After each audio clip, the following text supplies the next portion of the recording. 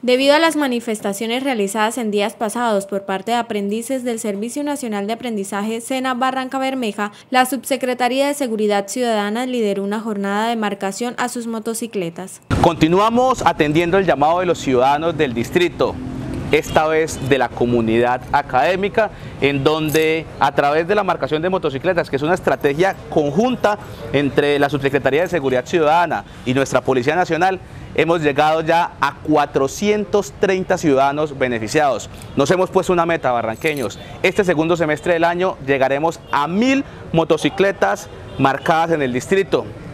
También corresponde a una gran medida para frenar el hurto de motocicletas en nuestra ciudad y ponerle más taranqueras a los amigos de lo ajeno. Las manifestaciones habían realizado, según los aprendices, por haberse presentado en varias ocasiones el hurto de motocicletas o algunas de sus partes mientras se encontraban parqueadas a las afueras del SIT.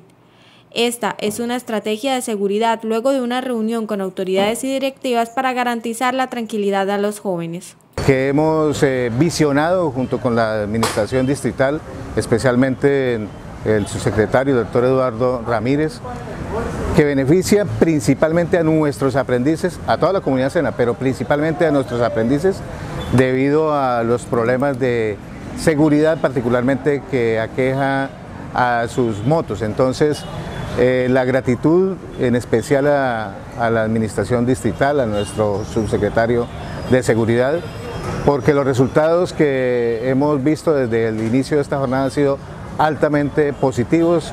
Nuestros aprendices están eh, muy satisfechos y expectantes porque finalmente logremos cumplir los objetivos de tener una comunidad educativa en el SENA más segura.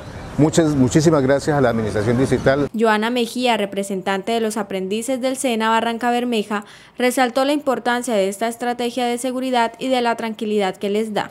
Pues me parece que es una estrategia excelente, sobre todo para brindar un poco de tranquilidad y seguridad a los aprendices que tanto nos aquejan los robos eh, afuera de las instalaciones del SENA, digamos para prevenir un poco esta inseguridad y que nosotros podamos disfrutar de nuestra formación eh, con plena tranquilidad.